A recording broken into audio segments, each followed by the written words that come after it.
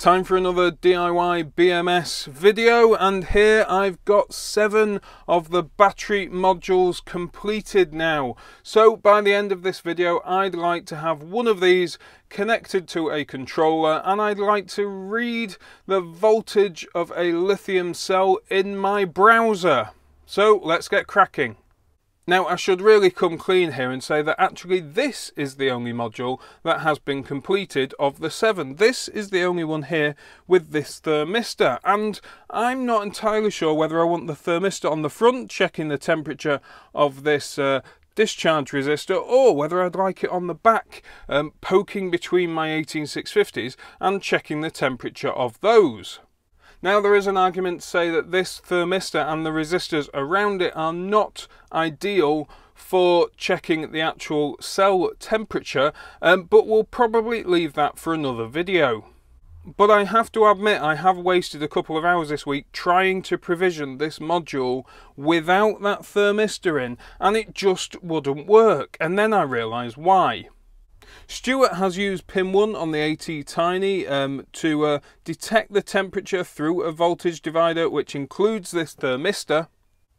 And pin 1 is the reset pin on the AT Tiny. So until the code actually starts running here, um, that pin needs to be high. It needs to be, well, as close to 3.3 volts as possible. If it's low, the chip just keeps resetting itself. And when this thermistor isn't in place, well, unfortunately that pin is low so the chip just keeps resetting itself and like I said that did catch me out for a couple of hours this week now obviously I need to get some code here on the AT Tiny and Stuart has kindly provided an ISP header here, an in-system programmer. So uh, these six pins here connect through to the AT Tiny and I can use these to get the code onto that AT Tiny and uh, well, let's do that now.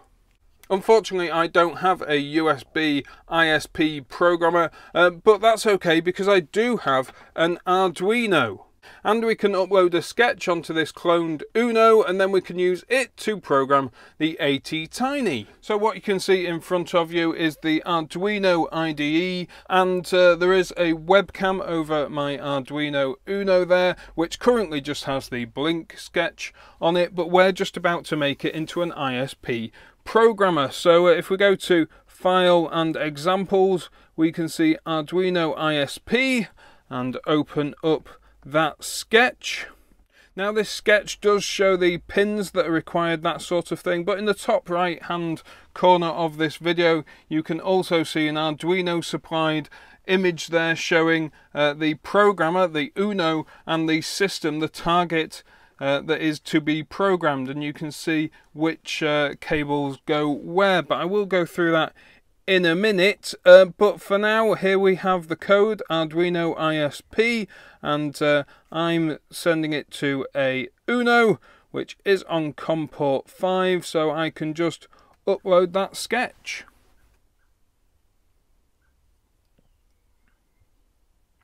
and that sketch should be sent and we can see the transmit and receive lights on my Uno and uh, well that's it it's done now I've copied that image to the letter, hopefully fingers crossed, even with the same wire colours here. So pin 1 is orange and that connects through to digital pin 12 for example. So hopefully this is good to go to program the AT Tiny. Hopefully my Uno and uh, the BMS module are connected correctly and uh, I've opened up the Arduino BMS cell module software here which I've downloaded from Stuart Pittaway's GitHub, which obviously I will link to below. But before we attempt to flash the AT Tiny, we need to copy this address here, which Stuart has handily supplied, and pop it into the preferences and board managers just here, which I've already done. So if we click OK, we can then go to Tools and Board Manager here in the Board section, and we can find the AT Tiny um, I think it's this AT Tiny Core by Spence Konde. Um, and if we install the latest version, that gives us all the definitions we need to be able to uh, program the AT Tiny 85. Once that board manager package file is downloaded, we can choose tools again and board. And in this list, we find a bit further down the ATtiny 85. And once again, Stuart gives us everything we need to do here. We're using ATtiny. We need to use 8 megahertz internal clock. LTO needs to be enabled, BOD disabled, and timer 1 is CPU. So let's go into here and pick the ATtiny 85 we've already got. Uh, the CPU, timer 1 clock is CPU. LTO, yeah, I've got that. And uh, we need that enabling, don't we? And then go back in. Was it enabled? Yes, it was. Um, BDO disabled, yeah. 8 megahertz internal. So, uh, first job here, we need to boot, uh, burn the bootloader uh, because from the factory they come out 1 megahertz. Um, so let's burn the bootloader and set it up as an 8 megahertz chip. And uh, that's errored there. So uh, what problem are we having? But I have had this before. So if we press it again to burn the bootloader, the lights are flashing on the Arduino. And uh, yeah, it says there, done burning bootloader. So it worked, although the first time it did fail.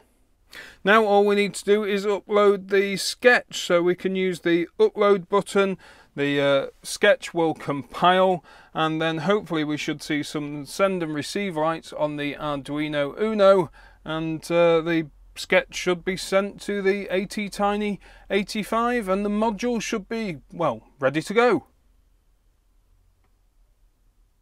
and that's done uploading so uh, theoretically that's all working now for the main controller for the DIY BMS I want to use this, the Wemos D1 Mini. Uh, this is a clone, they're incredibly cheap on eBay. And this will use I squared C communication to talk to each module. And in fact, of course, it's isolated I squared C communication thanks to the ADuM 1250 ARZ. And to connect these is fairly simple. First of all, we need, uh, well, 3.3 volts from the Wemos, and of course, we'll need the ground. Uh, D1 on the Wemos is the S clock, and D2 is the data. SDA. And if we look at the pins here from left to right, we've got ground, then we've got S clock, S data and VCC. So we uh, need to connect these all up and that's fairly straightforward except for one thing which we need to add. And that's a couple of pull-up resistors because I squared C is an open drain system. So we need a resistor pulling up between uh, 3.3 and uh, S clock here and we also need one between 3.3 and SDA the data line so uh, as long as we add a couple of resistors here that should make the communication work because uh, the S clock and the S data can pull the uh, line down to ground but they can't pull it all the way up to 3.3 volts. It just sort of sits floating in the middle when it's not pulled to ground. So we need some uh, pull-up resistors uh, to bring that up to 3.3 volts. And for your reference, I've chosen 2.2k as my pull-up resistors. To try and make this look as neat as possible, I've used the same connector as uh, Stuart used on the DIY BMS module uh, here on my little perf board, which is the same size as a D1 Mini. Uh, these are available again on eBay very cheaply. I've got my two pull-up resistors there, 3.3 volts, ground, and uh, D1 and D2 connected. And uh, although it isn't too neat, well, as soon as I put the Wemos D1 Mini on the top, well, it starts to look very neat, doesn't it? So I've connected up my Wemos D1 Mini via a micro USB cable to my laptop and I've opened up the Arduino ESP8266 BMS controller sketch which also um, opens up all these complementary files as well so uh, make sure they're visible. Now once again you may need to go to your preferences and uh, add in another uh, board manager URL here. We'll make a new line and we'll add in this one. Hopefully this one will be suitable. Stuart hasn't actually suggested a preference here, so I'm going to add this one and uh, I'll put a link in the description below to this same uh, library And once we've put that URL in, we'll need to go back to our board manager and uh, let it update because now there's a new source. And if we search the top for Wemos, well, we can find it in here with this ESP8266 community library. With that install complete, we can see that Stuart has said that we need to make sure that this is set to 80 megahertz CPU and the flash needs to be 4M, 4 megabytes is that, and 3M spiff. So make sure we get that right. So let's find the board first in the board manager. Now we've installed it below all these AT tinies um, and somewhere down here we can see the Wemos D1R2 and Mini. So that's the one we need. And then, uh, well, debug level none. 80 megahertz is selected. Uh, we'll send the sketch only. Uh, flash, um, 4 meg and 3 spiff. So that should be ready to go. My uh, board is connected to COM port 5 and uh, well we should just be able to upload that sketch to the DWOS DWOS Wemos D1 Mini. Now the sketch has been uploaded to the Wemos and I've also now put an 18650 here on the module um, because of course this is powered by the 18650 and uh, not by the Wemos because of the isolation chip, the ADuM 1250 ARZ. So uh, what happens next? Well, uh, if we go onto the Wi-Fi here of my computer, we can see the DIY BMS controller. Um, SSID is advertising itself, so if we connect to that, then we connect my laptop directly to the Wemos here.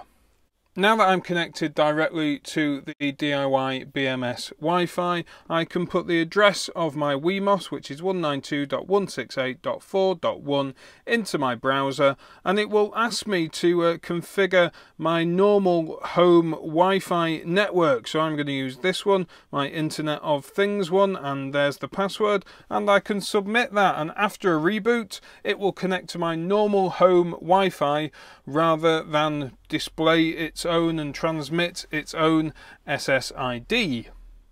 And as it so happens, my internal Internet of Things Wi-Fi also uses the 192.168.4 subnet, but now it's been given a DHCP address of 46 so I've been able to go to that address um, because I found that information from my router and now we can see the uh, DIY BMS management console. And if you remember right at the beginning of this video I just want to connect this one module and read a voltage. So if we uh, click modules here um, well there are no modules whatsoever but if I click provision fingers crossed the light shines on the Wemos D1 Mini and it says it's requested a provision and uh, well what do we do? Do we wait or do we reload the page? And uh, hopefully if we provision try again provisioning.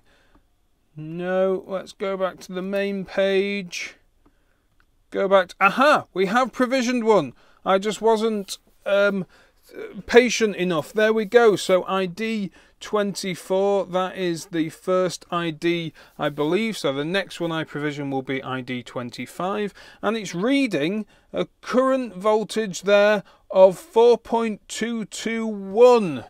Well, that might not be absolutely perfect. In fact, I know that's a bit high, um, but there is a calibration thing in here, but that's not the point of this video. I wanted to get to this point. I wanted to connect a DIY BMS battery module to a controller and read a voltage in my browser. I've managed to do it.